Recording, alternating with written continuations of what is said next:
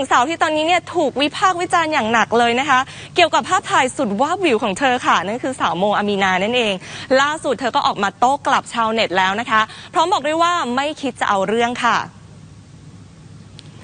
ยอมควักเงินเกือบครึ่งล้านเลยนะคะ ในการถ่ายภาพเปลือยเซตนี้สำหรับสาวโมอามีนา ที่เห็นแล้วบอกเลยว่าแซ่บแบบพลิกยกส่วนเลยทีเดียวค่ะ แต่ก็มีชาวเน็ตบางส่วนเนี่ยออกมาวิจารณ์เรื่องความเหมาะสมนะคะ แล้วก็คอมเมนต์ด้วยถ้อยคำหยาบคาย หนักสุดเนี่ยถึงขั้นมีโรคจิต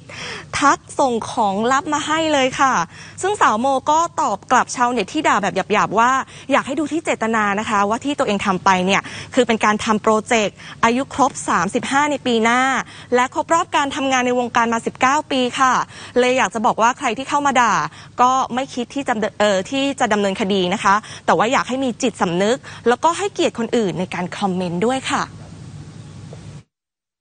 ยมใจไว้แล้วแหละ ว่ามันจะต้องมีบุคคลหนึ่งที่แบบหมันไส้เราไม่ชอบเราแบบเราทำอะไรก็ผิดอะเราก็ไม่ใช่นางเอกไม่ใช่อะไรลุกขึ้นมาทำโปรเจกต์นี้นะก็เรื่องของเขาโมปล่อยผ่านไอ้คำว่าทุเลศอะแต่โมจะไม่ปล่อยผ่านกับคอมเมนต์ที่มาลามกอนาจารกับเรา มันทำให้ลูกโมโดนไอจีลบออกจากระบบอะเขาส่งของดีมาให้เราแบบคือเราเห็นแล้วเราก็